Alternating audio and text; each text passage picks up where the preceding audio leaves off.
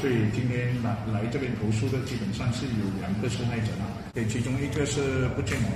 将近是三万块，另外一个是不见了啊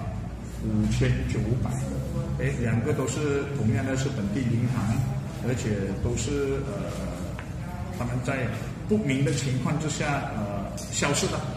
人家也进行了投诉，但是主要就是呃银行。那一方没有给予任何的答复，然后呃也已经呃过了相当久了，所以我相信，呃我把呃时间交给这个受害人。当时是在玩手机的时候，然后就突然那边他就跳出一个 notification，然后刚收到这个 message 是收到这个 OTP number，然后就收到 OTP number 了过后啊就开始拉高利率。七到三十千，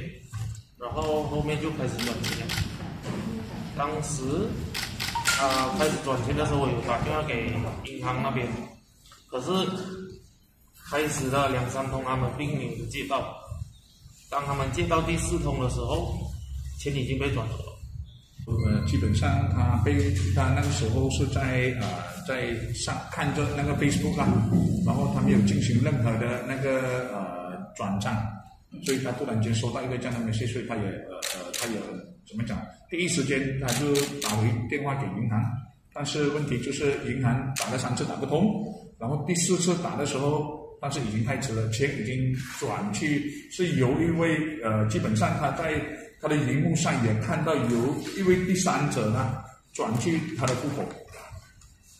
诶，他也把这个东西告诉了银行，然后也也。去警方那边报警了。银行联络我是要啊，我有去质问这个银行，然后他们是讲需要给他们时间调查。那么他们基本上也可以 claim 他们的保险去，I mean 去赔偿啊，做出赔偿啊。但是呃，对这些存款人来讲，I mean 呃钱都已经不见了，那么呃赔偿多少对他们来讲呢，已经呃已经怎么讲？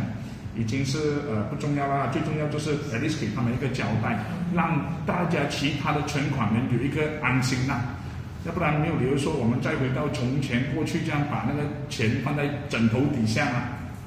对不对？因为你银行开的目的就是要我们把钱放在银行里面，而且你 bank 开的就是确保我们的存款者的安全。如果要不然的话，我们大家每天都在战战战兢兢，手头上有这么多钱，又怕给人家抢，放进银行又没有保障。所以基本上，呃，我觉得需要探讨可能是一些网络的一些怎么讲，一些呃保安啊，那银行的一些呃系统的一些保安。